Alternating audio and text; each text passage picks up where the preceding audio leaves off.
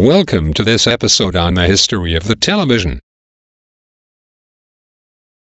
Electronic television was first successfully demonstrated in San Francisco in 1927.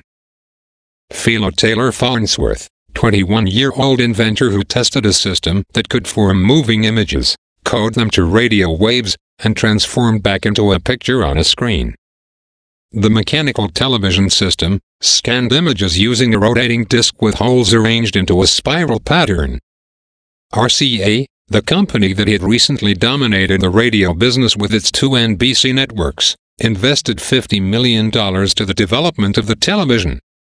By 1939, RCA televised the opening of the New York World's Fair, making President Franklin D. Roosevelt the first president to appear on television.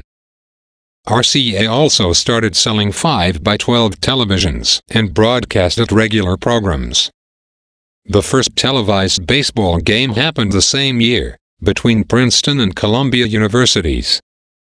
In 1931, Columbia Broadcasting System CBS-Com arose as RCA's main competitor in radio and television as it began broadcasting. Early television and its cameras were very primitive such as single cameras recording whole baseball games, making it very poor quality. World War II slowed the production of televisions, as companies like RCA focused on war production. The production of televisions was slowed down even more by the rise of the FM radio and the battle over the government and its regulations. The Federal Communications Commission ruled that NBC had to sell one of its radio networks, upheld in 1943. The second network became the American broadcast company ABC. Television channels remained in certain cities, such as Chicago, Philadelphia, Los Angeles and New York. National commercial broadcasting did not come until 1947. By 1949, many forms of television programs, such as newscasts, situation comedies, variety shows and dramas borrowed from the radio. NBC and CBS took funds from their radio programs, and later television would take over the radio commercial-wise.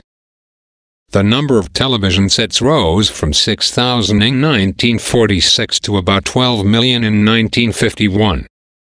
By 1955, half of the United States homes had one. Between 1953 and 1955, television programming began to depart from the original radio-like format television programming moved on to televising more variety of television shows and movies. Programming that dominated NBC and CBS in the mid-1950s was theater. An example would be 12 Angry Men in 1954 by Reginald Rose. This faded off in the 1960s as viewers began to prefer dramas and comedies. The first video recorder was invented by Ampex in 1956. The first televised presidential debate, the 1960 presidential election. President John F. Kennedy proved to the public how the television helped him win the election, as how it seemed as Richard Nixon had won according to the radio. Kennedy's assassination in 1963 proved how powerful television had become. The Vietnam War and the media brought many problems to President Lyndon B. Johnson and the government. The public witnessed war events and proved the government wrong in many ways.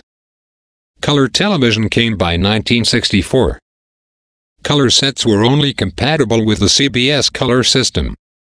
RCA benefited, as black and white sets were not compatible with color programming. During the 1960s and 70s, America was limited to watching the three major networks, CBS, NBC and ABC. Initial competition between CBS and NBC, then ABC rose to the power later on. Cable began to rise quietly in small towns as services that received and broadcasted programming from the closest large city. By 1971, cable had more than 80,000 subscribers in New York. Networks designed for cable began to appear, such as Home Box Office HBO, WTBS in 1976, C-SPAN EASE, PN for Sports, and Nickelodeon all in 1979. cable news network CNN in 1980. During the 1980s, viewers could now record or rent programs recorded on video cassettes and watch them at home. Video games benefited from this. Cable networks grew more throughout the 80s and 90s with the rise of direct broadcast satellite television.